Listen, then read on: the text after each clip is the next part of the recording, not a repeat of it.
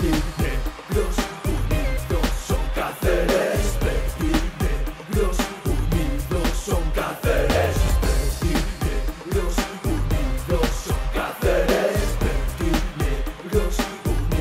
son son son. Vengo de un equipo donde hace brillar a gente de la cantera o de la NBA.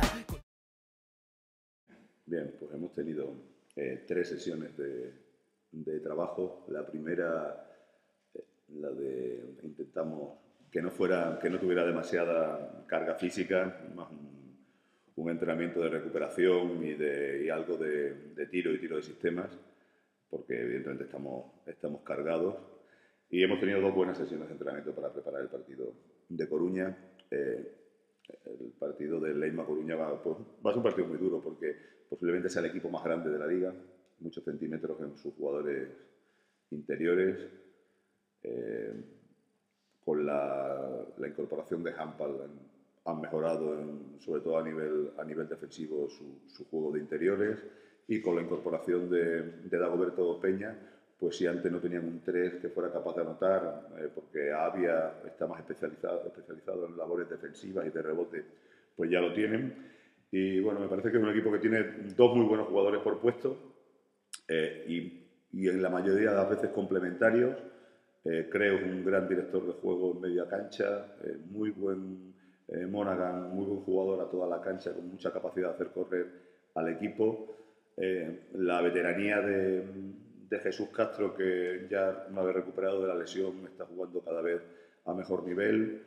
Eh, la, la, explosividad y la capacidad de anotación de, de Stelzer en el puesto de, de, escolta.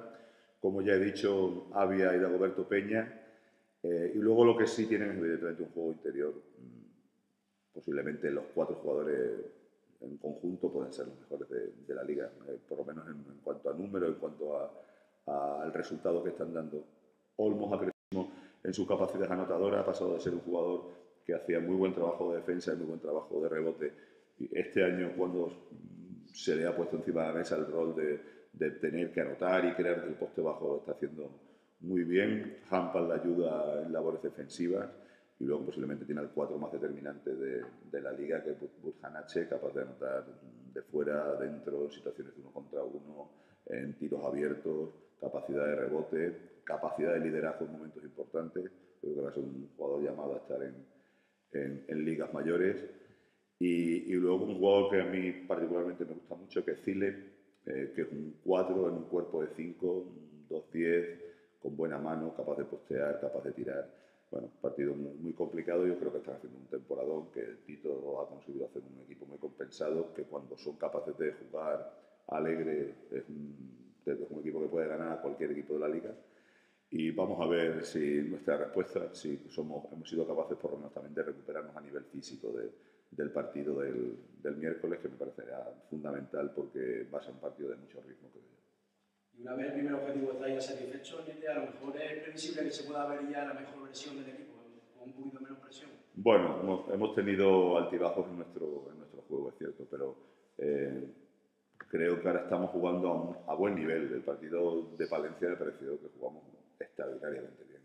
Posiblemente ahora nos va a costar un poco más eh, ganar fuera de casa, seguro, por, porque el equipo es diferente. Pero el otro día no era un partido fácil para nosotros por, por todo lo que hablamos después en la rueda de prensa, de tener que cambiar eh, de cómo habíamos entrenado a cómo, a cómo tuvimos que plantear el partido por la, por la baja de Arteaga. Bueno, ahora estamos tranquilos, vamos a ver si somos capaces, si tenemos esa, esa ambición de poder sacar un partido 2, que yo creo que van a ser necesarios dos para poder estar en, en playoff.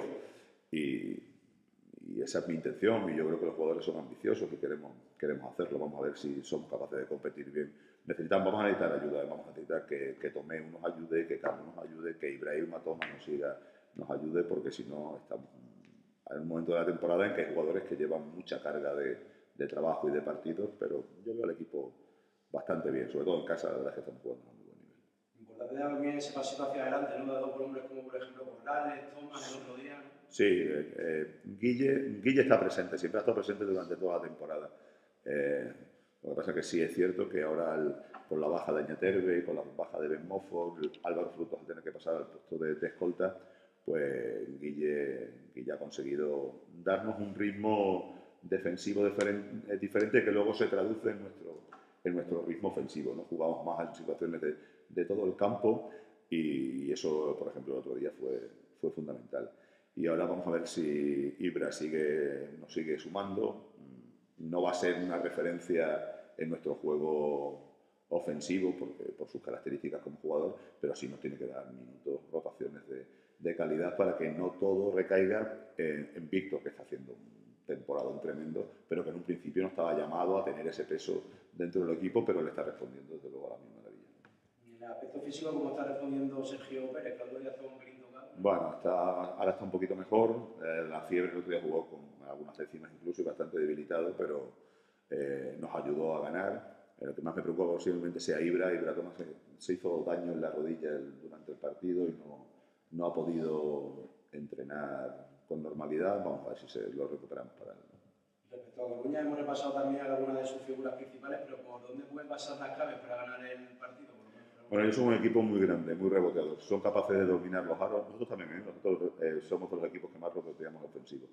Pero me preocupa el ritmo. Si ellos son capaces de, de correr al dominar el rebote, son, luego tienen muchas situaciones de juego en los que, en los que son capaces de, de crear. ¿eh? Evidentemente van a, a buscar muchas situaciones de uno contra uno de, de y de abierto y un poste bajo y de Olmos en poste bajo pero luego tiene jugadores con mucho talento que son capaces de crear a través del bloque directo, como, como Creus y Monaghan. Y allí en, en Coruña eh, nos hizo mucho daño Stelzer en salida de bloques indirectos, jugando carretón por línea de fondo. Bueno, lo hemos trabajado para intentar defenderle, defenderle mejor.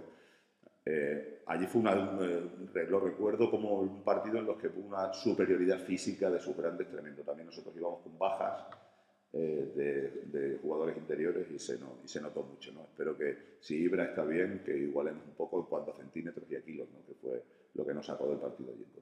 Respecto a la posibilidad de jugar playoff, ¿cuál es el mensaje? ¿Más bien un premio, una obligación ya, entre comillas? Bueno, yo creo que si con todo lo que nos ha pasado, todo tipo de vicisitudes que hemos pasado durante la temporada, con idas a la CB, con operaciones de jugadores importantes, mm, compitiendo algunas veces con siete y ocho jugadores, si nos metiéramos en playoff, yo me lo tomo como un premio para el equipo, para el club y para la afición.